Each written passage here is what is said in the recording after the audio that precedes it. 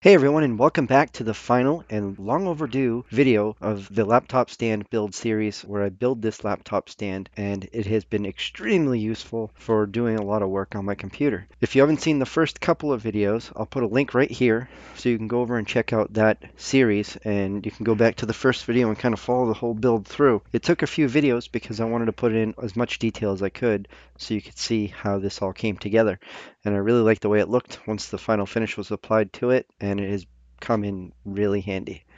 So here we are and we'll just get right into the last video. So what I have here is stock that's about two and a half inches wide, maybe three quarters of an inch thick, and I just cut them down into squares. I wasn't really looking for any exact size, I just wanted something that I could cut the notches in and glue them into place to make the whole thing more solid.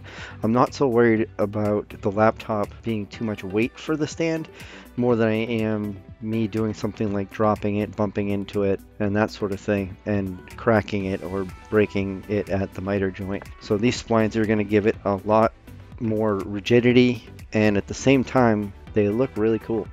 So after cutting them into squares, I bring them over to the bandsaw and basically just draw a line from one corner to the other and just cut it right across that line, just making two even triangle splines. So you see I have three squares and I just cut them each in half, making six oak splines.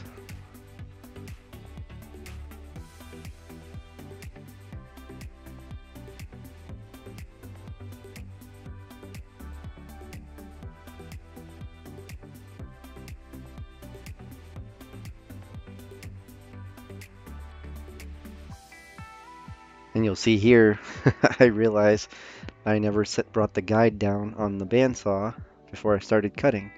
And you would think having a bandsaw mill I would know better, but I've also not used this bandsaw very much lately and haven't really done a whole lot in my shop lately, but looks like I should hopefully be able to get back to doing that.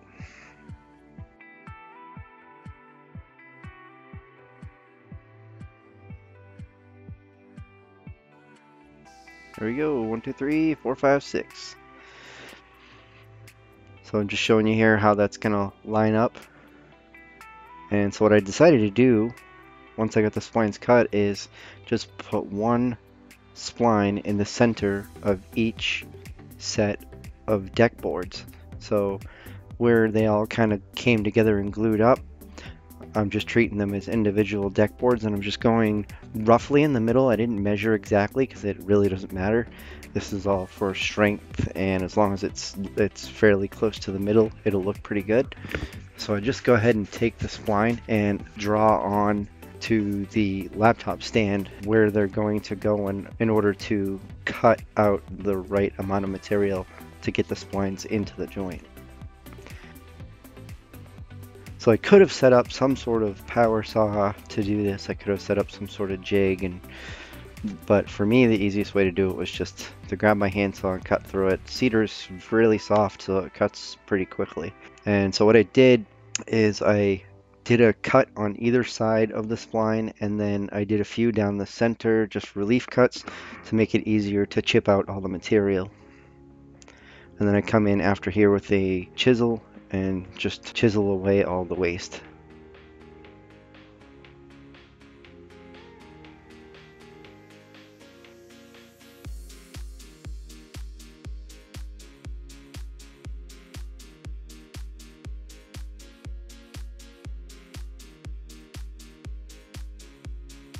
I did have a little bit of chip out on the underside of where the splines go in, but it's not going to be anything anyone's going to see.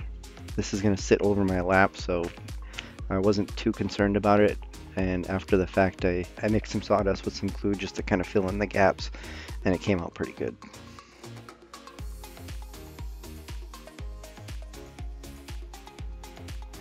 I have to say, I really enjoy using chisels and cleaning out spaces for joinery. Uh, just something relaxing about it. So here I just use my speed square to make sure that the angle is a perfect 45 degrees and that the two points where the spline are going to make contact line up perfectly. So I just do a little bit more cleanup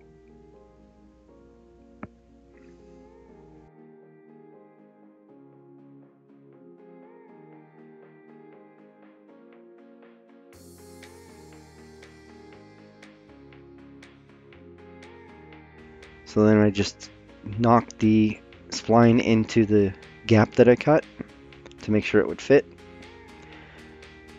And basically there I just showed you how I cut one of the splines and set them in place just to see so you could see how it's done. And then I went around and I just did all six of them off camera because they're all done exactly the same. And so I basically just glue the slot that the spline's going to go into. I put some glue on either side of the spline where it's going to make contact with the laptop stand and then just knock it back into place. And really no need for clamps here because they go in very tight. So there's really nothing to clamp because they're not going anywhere.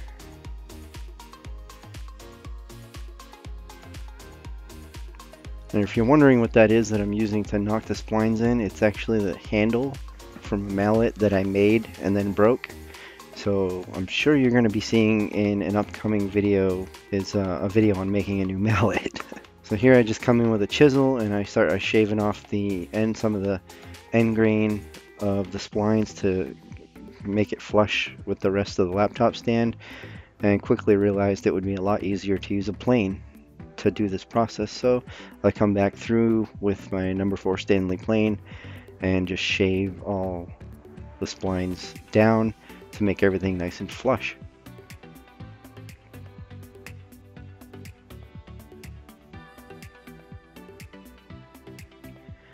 So then I go over the whole thing again entirely with the sander and smoothed out all the pointy edges and just kind of knocked off all the hard edges on everything and I went over the edges and made everything nice and rounded and smooth because this is going to be something that's going to be sitting on my lap and that I'm going to have my hands on and so it's definitely nice to have a nice smooth surface. So what I use here for a finish is roughly a 50-50 mix of boiled linseed oil and polyurethane. I found this is a really good finish for something that is soft wood that I'm going to be using as a utility for working with my laptop, but the nice thing about the polyurethane mixed into it is it gives it kind of a hardened shell on the outside, so it gives a quite a bit of protection to it.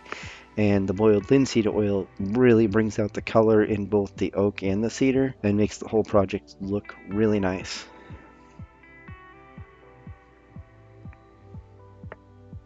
And I did wind up putting two coats on this, and in the end it came out even a bit darker after the second coat and I do coat the whole thing on the top, on the sides, on the bottom, and give it a nice good protective coating and a really nice look. I really, really like the way this thing came out. I just love the look of it. You can see where the boards were used as decking, the screw holes are there, and it's got a nice sheen to it, but still a nice rustic look to it. And I really, really like it. So I really hope you like it as well. I hope you liked this series of videos building this laptop stand and it was really great having you along during the process. I had a lot of fun making it. I intend on doing a lot more projects here in this shop. If you like this video, please hit the like button. It helps quite a bit. Please throw some comments down below. Any feedback you have on the videos, the content, the projects, anything like that, I'd really appreciate it. It helps me out a lot. If you like this video, please check some of these other videos out here on the channel. And if you like them, please consider subscribing. You hit the subscribe button down below, bell icon will come up,